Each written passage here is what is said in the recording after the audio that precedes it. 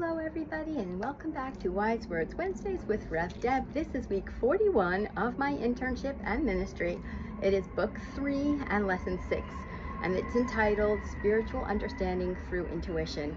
And we talked last week about how religion is kind of small and in a box, and everybody's got to do the same thing.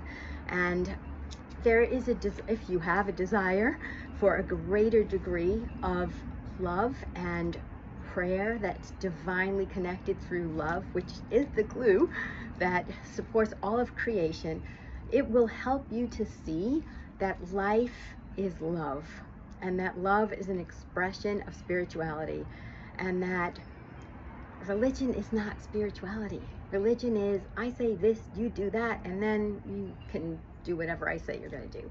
Spirituality is you yourself connecting with Source in any way that works best for you. It is expansive, it's not a box. And so, what works for you and gets you to that next level works best for you, and nobody can tell you differently. And I love that because how I connect to Source is different than anybody else, and I connect in loads of different ways.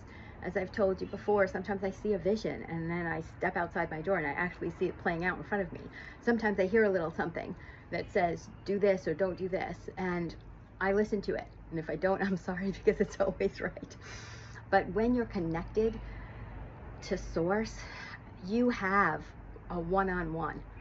it's, not, it's something that you can rely on anytime, anywhere. You don't have to wait until Sunday when the church is open or whenever your church or temple or synagogue or um, mosque is open.